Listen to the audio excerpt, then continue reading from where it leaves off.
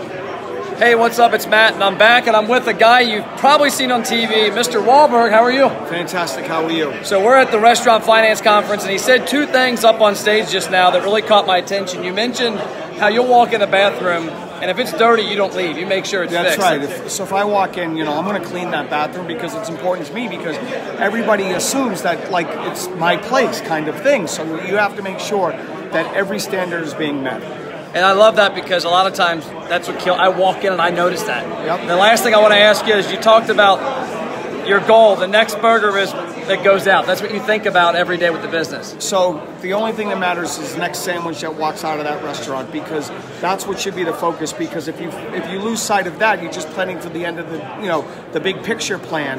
It doesn't work. You have to focus on what you're doing and what's happening right at that moment in order to make it work. Cool. Well, thank you, sir. I appreciate you coming on. My pleasure. Thank Thanks, you. man.